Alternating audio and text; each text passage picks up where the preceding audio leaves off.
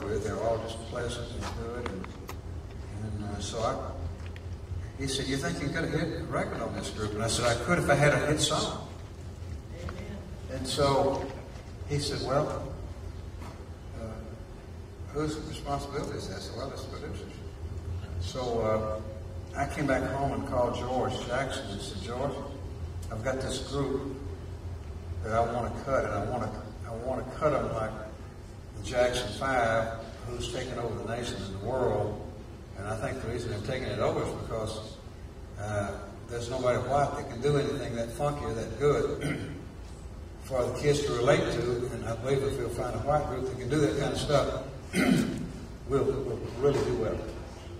And so I said, write me something like the Jackson Five, a one, two, three, or one of those things that are happening. And a week later, George brought a brought a demo down and uh, I played it to him, and uh, we cut it. And I sent it to Mike Curb, the president of MGM, and he said, uh, Rick, I'm going to put 75% of the energy of my whole label behind this group and this record. He said, I think it's a monster. Of course, the rest was history. Then we broke Donnie off and made him a separate act. And I did Go Away Little Girl and The Puppy Loves, you know, the, the little, little guy stuff. But I kept them as a group and him as an extra. Now you finally, that carries you through the 70s, all that pop, big pop stuff. You were producer of the year and Billboard and everything. But then in the 80s, you finally get around to getting back to country. And Jerry Reed comes down here and cuts hits, and the Gatlins, and G. Sheppard.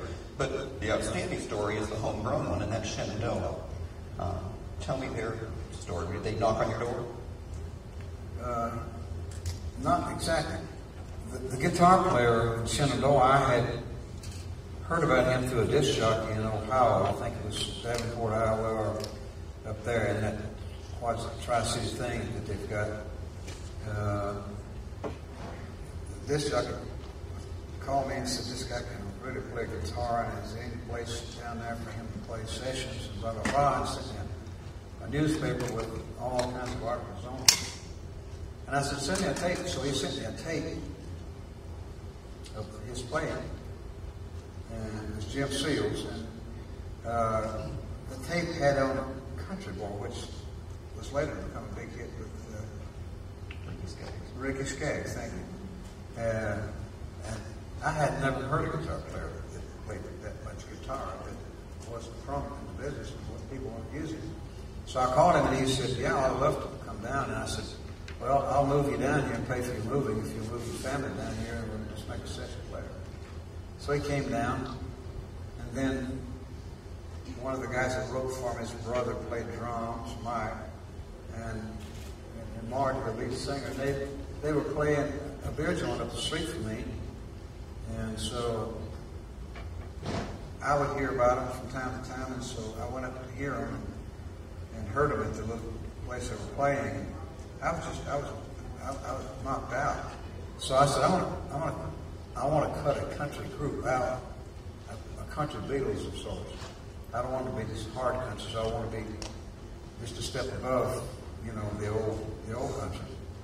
And so uh, we went in and uh, I signed them and got with Rick Blackburn, who was the head of uh, CBS at the time, and now it's Sony. And he flipped that over and signed him to the label. And I made a labor deal with him, and not a labor deal, but a production deal, and I was doing so. Walt Aldridge and Robert Byrne, two writers for me, uh, and Mac McAnally, we came up with a theory. Why don't you guys all find an acting piece and we'll make a production deal? And I presented it to Blackburn, and he bought it. So we're off the races. Anyhow, the first album fell on its face because we didn't know we didn't find our way, what, what they did good and what, what people would buy them doing. Second album, we uh, the first album sounded like a conglomerate. It really sounded like five producers produced the album. There was so much different stuff and it had no continuity and no no thread to hold it together. But the second album, we nailed it, and uh, we began to hunt songs really hard in Nashville with all the publishers and all over the country send out letters.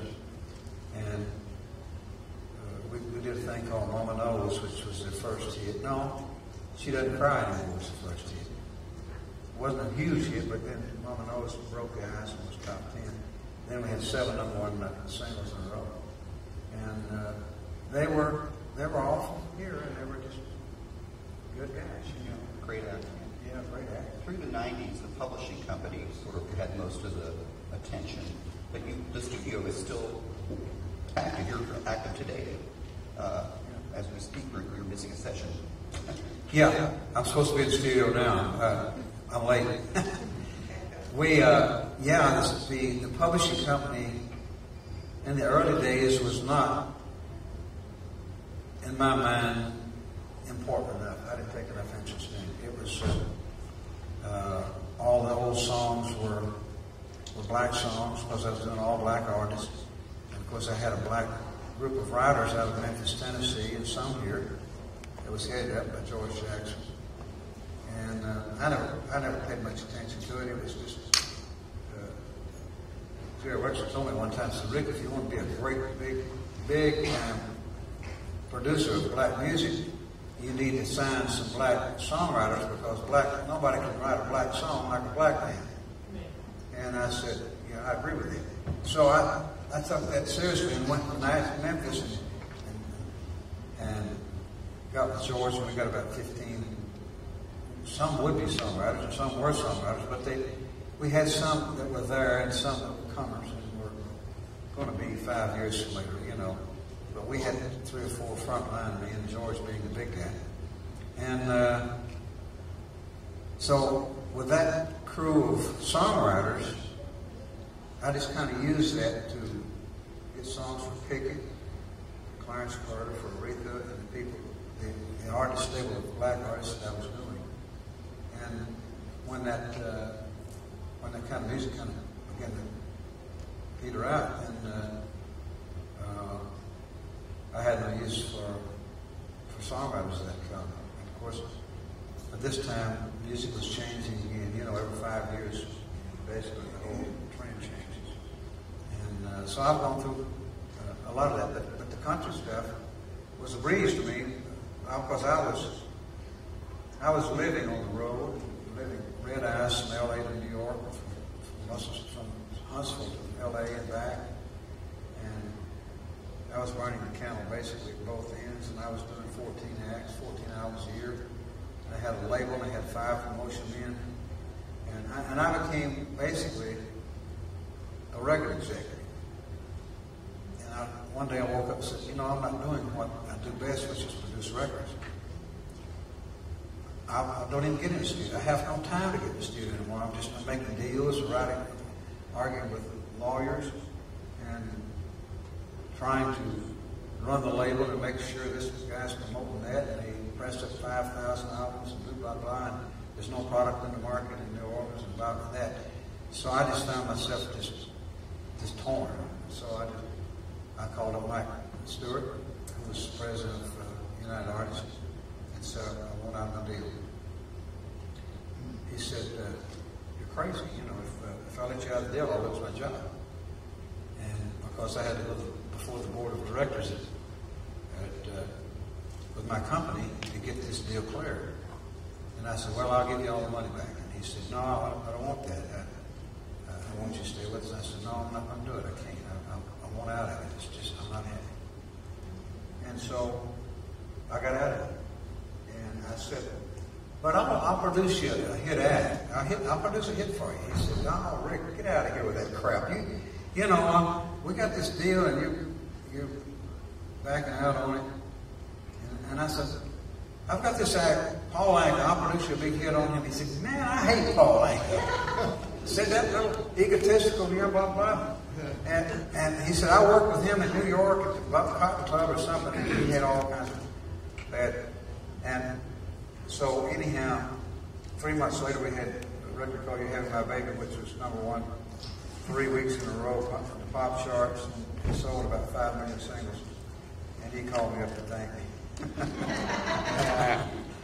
Why do you think you succeeded? I mean, all, all odds were that a place called Muscle In the middle of nowhere, a guy with no formal training in music, I mean, everything seems to not, the, the, pieces don't add up. What, what, what was the secret ingredient, do you think, that allowed you to succeed where so many others did not. Yeah. Well, I really think, I've never thought that I, I was terribly talented. Uh, I think the thing that helped me more than anything else is uh, just a strong desire to win and never say never, and never quit. I've always had a saying, and people don't like it in our industry, but it's called, I used to say, it's called taking names and kicking asses. Yeah. That's, uh, that's basically how I did it, just claw and I've always believed that if the other man works eight hours a day at it and I work 16, I'm going to eat his lunch in a couple of years, he'll be out of business. And I'll wipe him out. I still believe that. And I've always used that theory. And so, where I might have not had the greatest talents in the world, uh, I think the fact that I worked so hard and was so determined and, was willing to make the big sacrifices, uh, I think that was the difference. Ladies and gentlemen, the man who made Muscle Shoals what it is.